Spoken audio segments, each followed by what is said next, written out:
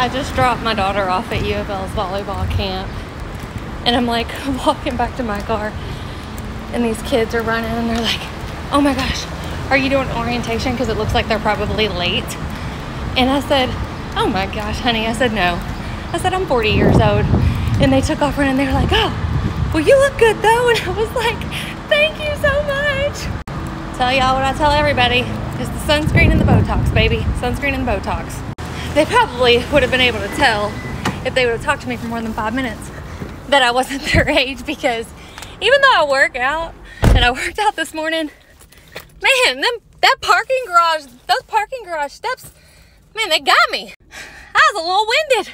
But that pretty much just made my little 40 year old day to ask for some uh, college kids to ask me if I was there for orientation. So thank you.